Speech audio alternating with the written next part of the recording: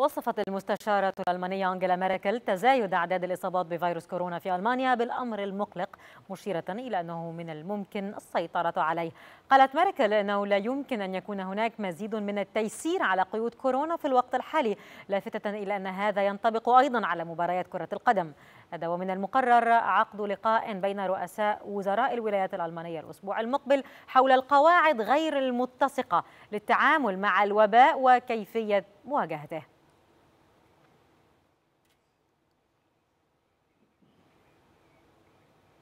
لمزيد من النقاش ينضم إلينا عبر الهاتف من برلين أستاذ أحمد السيد الكاتب الصحفي. مرحبا بك أستاذ أحمد معنا في هذا النقاش. يعني هل هي معضلة التي تقع فيها ألمانيا وكذلك معظم الدول الأوروبية التي تشهد ارتفاعات كبيرة في أعداد الإصابات؟ من ناحية الإصابات تتزايد والأعداد تتزايد من ناحية أخرى كما تقول ميركل لا تستطيع تخفيف القيود أكثر من ذلك. ما الحل؟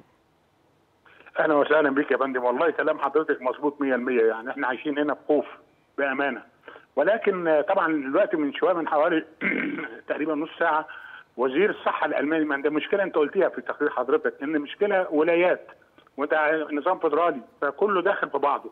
يعني مثلا برلين بتقول لا اللي الجماعة اللي بيعملوا أجازة دول وبيروحوا يتفسحوا يجي يدفعوا حق الفحص على حسابهم. ده يقول لك لا ببلاش. فداخلين في بعضهم زي ما حضرتك قلت في التقرير. فطبعا نتمنى إن المستشارة فعلا تصل إلى اتفاق بالنسبة للفحوصات إنها تكون مفتوحة لأي حد عاوز يسافر في العالم يسافر ويرجع يفحص ببلاش مفيش مشكلة. طلع عنده مرض يقعد في البيت. ما هو خلاص كل الدول كلها متأثرة. فالناس هتقعد هنا هتتحبس زي ما قالت ميركل ما تقدرش تشد عليهم.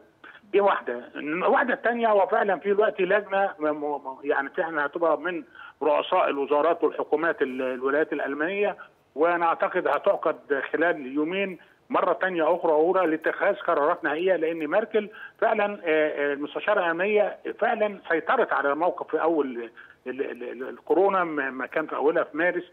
فطبعا كان لها دور كبير. فدلوقتي فعلا زي ما قلت الأعداد بترتفع وعدت النسبة الواحد في المية طبعا في ألمانيا. هم عاوزين يكون أقل من نسبة واحد في المية. فدلوقتي هو أهم حاجة. دلوقتي عاوزين يروحوا للمدارس والأطفال. أهم حاجة دول كلهم لازم يفحصوا بدون استثناء. لأن دي موضوع مهم جدا بالنسبة لألمانيا. حتى فعلا يسيطروا على الموقف هنا هو من من بداية أزمة كورونا في ألمانيا أستاذ أحمد وكان متروك للولايات حرية التصرف. على الأقل بعد يعني مرور الفترة العصيبة الأولى يعني كأول شهرين ترك للولايات حرية التصرف إلى حد ما في يعني حدود فتح الإغلاق والتخفيف من قيود كورونا. الآن أصبح هذا الموقف يتصف بعدم الاتساق بين الولايات. فما هي محددات هذه الإجراءات؟ يعني هل سيتبع الجميع إجراءات محددة تأتي من المستشارية الألمانية أم ما زال الموقف مفتوح بحرية للولايات؟ لا هو زي ما قلت لحضرتك النقطة الأخيرة هو ده موقف مفتوح من الناحيه القانونية للولايات ما فيش هنا تسيطر. ولكن المستشارة يعني دبلوماسية كبيرة جدا جدا. يعني أنا بقول بحاجة شخصية مش هي هتلعب دور كبير جدا تلمهم تاني مع بعض كده لأن اولا ما تنسيش إن ألمانيا خلال 13 شهر في انتخابات. جديدة ومستشار جديد وكذا وكذا فكل عاوز يظهر بمظهر وفي الحزب بتاعهم اللي هو الحزب المسيحي الديمقراطي اللي هي ماركت ثابت رئاسته في طبعا في ديسمبر ليهم طبعا انتخابات في شتوتجارت وكل واحد عاوز يظهر بمظهر. يعني مثلا وزير الصحة عاوز يظهر بمظهر إن هو يترشح يبقى رئيس الحزب ومن والإنسان اللي بترشح رئيس الحزب يبقى هو مرشح للمستشارين. فطبعا هرجع للنقطة المهمة اللي هي الصحة ودي طبعا أعتقد إنها مش هتتركوا الأمر لأن هنا في معهد روبوت أنت عارفة كوخ يعني بيلعب دور كبير جدا وعامل دلوقتي بلان كبير أو خطة كبيرة جدا في لم هذا الموضوع. هو المشكلة دخلت في بعضها بسبب الجماعة اللي هم راحوا عامل أجازات. يعني هو مش كل الامال راحوا عملوا أجازات. لا ده نسبة قليلة جدا جدا. يعني وصلت لحد 25000 30000 وما زال في ناس بتسافر النهارده وبكرة يعني ما فيش مشاكل.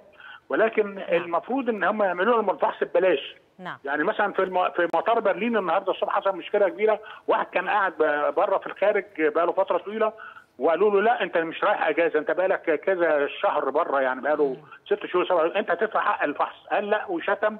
راحوا ماشيين طبعا الشاريتيه اللي هو المستشفى اللي هي مختصة نعم،. بيطوعوا في الفحص مشيوا وسابوا المطار النهارده الصبح هم بدون فحص. طيب. وطبعا هم صدروا قرار بأن حتى الواحد لما يفحص يقعد في البيت عقبال ما يجي نتيجة الفحص لأن عرفت طبعا حضرتك في بافاريا حصل مشكلة. شكرا جزيلا أستاذ أحمد السيد الكاتب الصحفي حدثنا من برلين.